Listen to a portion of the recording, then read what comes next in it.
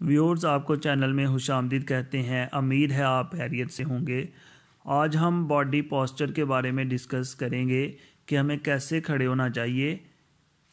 اگر ہم اس انداز میں کھڑے ہوتے ہیں تو اس کا ہمیں کیا بینیفٹ ہوتا ہے؟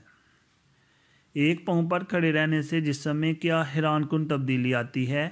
جان کر آپ روزانہ یہ عمل کریں گے۔ آج کل کے اکثر نوجوان جوڑوں کے درد میں مبتلا نظر آتے ہیں۔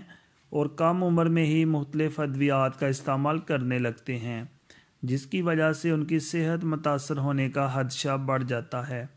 لیکن کیا آپ کو معلوم ہے کہ ایک پاؤں پر کھڑے رہنے سے آپ کے جوڑ مضبوط ہوتے ہیں؟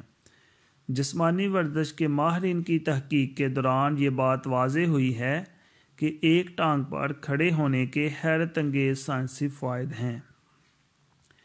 آج ہم آپ کو جوڑوں کی مضبوطی کے لیے ماہرین کی ایک تجویز بتاتے ہیں۔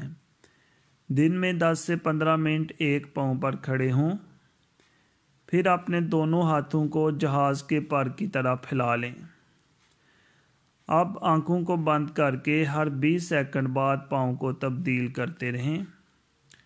اس طریقے سے نہ صرف آپ کے جسم کے پٹھے اور جوڑ مضبوط ہوں گے، بلکہ آپ کا جسم بھی متوازن ہو جائے گا۔ نوٹ۔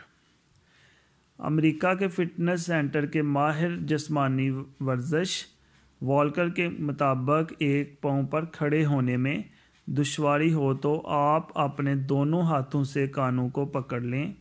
اس طرح آپ کا توازن برقرار رہے گا اور آپ گریں گے نہیں۔